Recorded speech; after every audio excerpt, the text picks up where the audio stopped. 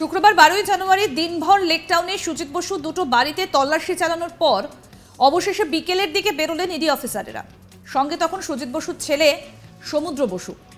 জল্পনা ছড়ায়, তাহলে কি সুজিত বসুর ছেলে ছেলেকে আটক করল ইডি? কিন্তু না। জানা গেল শ্রীভূমি স্পোর্টিং ক্লাবের উল্টো দিকের একটা ফ্ল্যাটে সুজিত বসুর অফিস রয়েছে আর সেই অফিসেই সুজিত বসুর ছেলের সমুদ্র বসুকে নিয়ে ইডির অফিসাররা যান। জানা গিয়েছে, এই অফিসে মাঝে মধ্যেই বসেন সুজিত বসু। বাড়ি থেকে ইডি অফিসারদের সঙ্গে বেরিয়ে সমুদ্র বসু মিডিয়ার সামনে জানান, তিনি একটি প্রক্রিয়ায় সাহায্য করছেন। এদিকে হঠাৎ করে সুজিত বসুর অফিসে তল্লাশির ঘটনায় জল্পনা ছড়ায়, তাহলে কি সুজিত বসুর ওই অফিসের কোনো গোপন নথি থাকতে পারে? সেই জন্যই কি এভাবে মন্ত্রীপুত্রকে নিয়ে সুজিত বসুর অফিসেও হানা দিলেন ইডির অফিসাররা? যদিও সেই বিষয়ে স্পষ্ট করে কিছুই জানা যায়নি।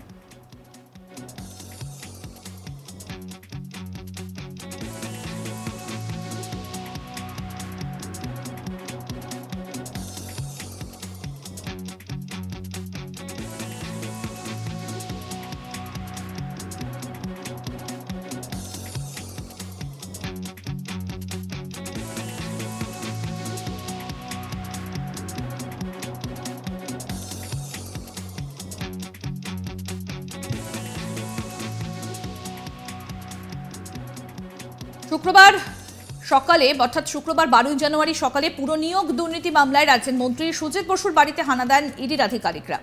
সিআরপিএফ জওয়ানদের সঙ্গে নিয়ে শুক্রবার বারোই জানুয়ারি সকালে দমকল মন্ত্রী সুজিত বসু লেকটাউনে দুটো বাড়িতেই পৌঁছে যান কেন্দ্রীয় তদন্তকারী সংস্থা ইডির আধিকারিকরা।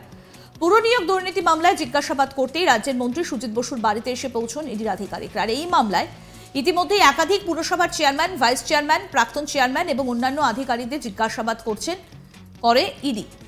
শুক্রবার সকালে সিআরপিএফ জওয়ানদের সঙ্গে নিয়ে ইডি আধিকারিকরা পৌঁছন সুজিত বসু লেকটাউনের বাড়িতে। আমাদের প্রতিনিধি সুজয়, কি প্রতিবেদন তুলে ধরলেন? আসুন দেখি। পুরো নিয়োগ দুর্নীতি মামলায় একেবারে সকাল থেকে ইডি আধিকারিকরা সুজিত বসু বলা যেতে পারে মুখ্যমন্ত্রী মমতা বন্দ্যোপাধ্যায়ের যে মন্ত্রিসভা হেভিওয়েট মন্ত্রী সুজিত বসুর দুটি বাড়িতে আজ সকাল থেকে দফায় দফায় তল্লাশি পর্ব চলছে। এখনও পর্যন্ত প্রায় ন ঘণ্টা অতিক্রান্ত হয়েই গেছে সেটা বলাই যেতে পারে। সকাল ছটা থেকে কিন্তু এই তল্লাশি পর্ব শুরু হয়। দুটি বাড়িতে তল্লাশি পর্ব চলছে। একটি হচ্ছে সুজিত বসুর পৈতৃক বাড়ি এবং আরেকটি নতুন বাড়ি। নতুন বাড়িতে সুজিত বসু আছে বলে আমরা সূত্র জানতে পারছি। সেই নতুন বাড়িতে ইডির অফিসাররা তাকে কিন্তু দফায় দফায় যে জিজ্ঞাসা পর্ব, সেই জিজ্ঞাসা পর্ব চালিয়ে যাচ্ছে।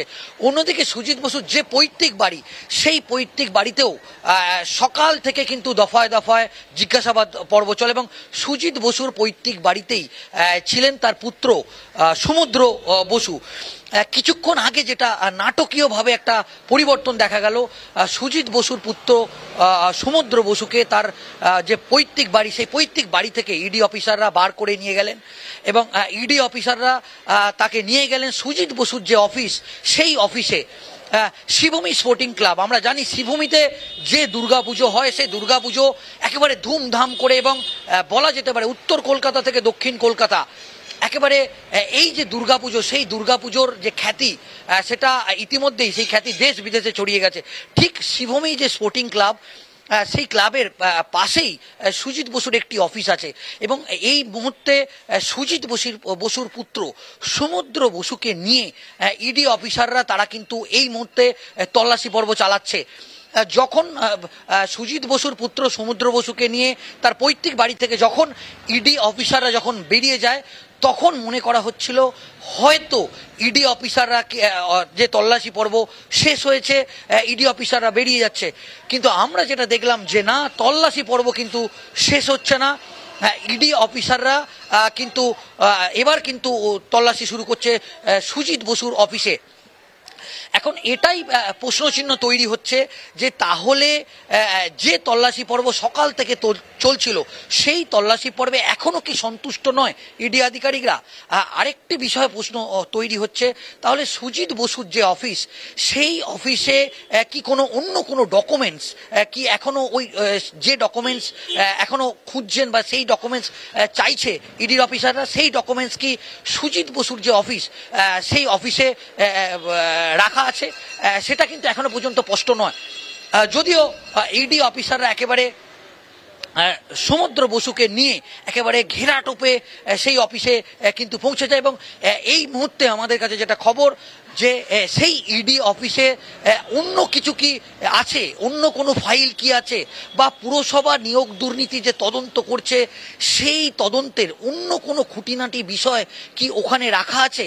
এবং এরকমও শোনা যাচ্ছে ওই যে অফিসটা সেটা আন্ডারগ্রাউন্ড অফিস এবং ওখানেও কি সুজিত বসুর কোনো বাড়ি আছে? বা সুজিত বসুর কোনো ঘর আছে? এবং সুজিত বসুর কি অন্য কোনো ডকুমেন্টস কি ওখানে রাখা আছে? সেটা পরবর্তী সময়ে জানা যাবে।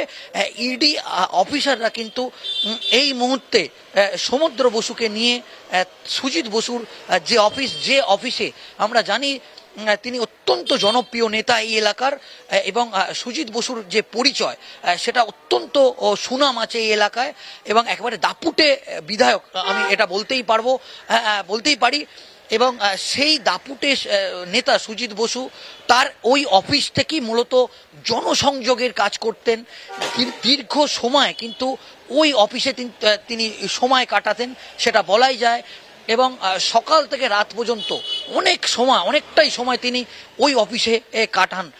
এবং দলীয় কর্মী সমর্থকদের একটা বড় অংশ কিন্তু ওই অফিসে গিয়েই সুজিত বসুর সঙ্গে সাক্ষাৎ করেন, সুজিত বসুর সঙ্গে দেখা করেন। এবং মূল যে বিধাননগর এবং এই যে লেকটাউন এলাকা মূলত যে জনসংযোগের কাজ সেই জনসংযোগের কাজ ওই অফিস থেকেই করতেন সুজিত বসু।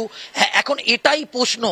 যে পুরসভার যে নিয়োগ দুর্নীতি আমরা জানি যে তিনি ভাইস চেয়ারম্যান ছিলেন দু থেকে দু এই সময়ে কিন্তু ওই অফিসেই বসতেন সুজিত বসু। এবং যে আড়াইশো জন মতো যে নিয়োগ হয়েছে, পুরসভা যে নিয়োগ দুর্নীতি যেটা ইডি অফিসাররা বলছে যে আড়াইশো জনের মতো যে নিয়োগ হয়েছে, তাহলে কি এই অফিস থেকেই কোনো রেকমেন্ডেশন করা হয়েছিল? বা অফিসেই কি কোনো ডকুমেন্টস রাখা আছে। এখন সেটাই প্রশ্ন যত সময় গড়াবে, এই বিষয়টা স্পষ্ট হবে। এবং প্রথমে কিন্তু একেবারে সবাই ভেবেছিল, হয়তো তল্লাশি পর্ব শেষ হচ্ছে। কিন্তু এখন কিন্তু আমরা যেটা জানতে পারছি, কোনো তল্লাশি পর্ব শেষ হয়নি। দুটি পৈতৃক বাড়ির পর এবার সরাসরি সুজিত বসুর যে অফিস, যে বলা যেতে পারে নির্বাচনী কার্যালয়, যেটা থেকে মূলত তিনি এলাকায় জনসংযোগ করেন, সেই অফিসেও কিন্তু একেবারে সরাসরি পৌঁছে গেল। ইডির আধিকারিকরা। এখন দেখার বিষয় যে সেই অফিস থেকে কি অন্য কোনো নথি বা কোনো ডকুমেন্টস বা কোনো অ্যাডমিট কার্ড বা পেন ড্রাইভ বা ল্যাপটপ বা অন্য কোনো জিনিস কি উদ্ধার হয় সেটা কিন্তু দেখার বিষয়। সন্ধ্যের দিকে দেখা যায় যে ইডির আধিকারিকদের একটা টিম বেরিয়ে গিয়েছেন। দুটো টিম সকালে আসে, তবে এখনও পর্যন্ত যেটা জানা যাচ্ছে যে সন্ধ্যে সাড়ে ছটা পর্যন্ত কিন্তু আরও একটা টিমের আধিকারিকরা তারা ভেতরেই রয়েছেন, জিজ্ঞাসাবাদ চলছে। সম্পূর্ণ আপডেট পেতে আজ তাক বাংলার ইউটিউব চ্যানেল সাবস্ক্রাইব করুন নোটিফিকেশন পেতে বেল বাটন অপশন প্রেস করুন। এই ভিডিও সম্পর্কে আপনাদের মতামত জানান কমেন্ট করুন শেয়ার করুন হোয়াটসঅ্যাপে ফলো করুন। আজ তাক বাংলা।